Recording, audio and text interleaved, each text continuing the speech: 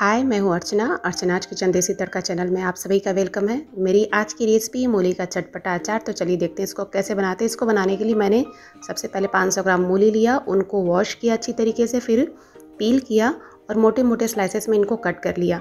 Cut कर लेने के बाद मैंने इनको एक घंटे के लिए धूप में रख दिया था, ताकि इसमें जो एक्स्ट्रा वाटर होगा, वो निकल जाए, सूख जाए।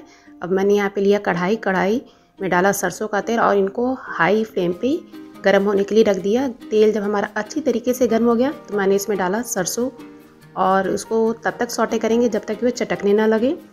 जब सरसों हमारी चटकने लगेगी तो इसमें डालेंगे मूली, जिनको हम लोगों ने काट के धूप में सुखा लिया था। एक से दो मिनट के लिए हम इनको हाई फ्लेम पे ही सौटे करेंगे। ओवर सौटे नहीं करना है, यानी ओवर कुक नहीं करना है। दो मिनट बाद हम गैस की फ्लेम को ऑफ़ कर देंगे। अब हम इसमें डालेंगे पीली सरसों का पाउडर। पीली सरसों का पाउडर बनाने के लिए आपको पीली सरसों लेके मिक्सर में फाइन पेस्ट होने तक ग्राइंड कर लेना है। अब हम इसमें डालेंगे टर्मरिक यानी कि हल्दी पाउडर, लाल मिर्च पाउडर, नमक स्वाद अनुसार। नमक थोड़ा सा अचार में अधिक जाता है।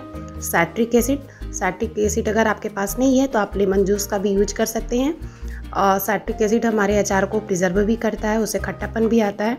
हम सारी चीज़ों को अच्छे से मिक्स कर लेते हैं। अचार जब हमारा अच्छी तरीके से ठंडा हो जाएगा तो अब हम इसको एक एयर टाइट जार में भर लेंगे और दो से तीन दिन के लिए हम इसको धूप में रख देंगे।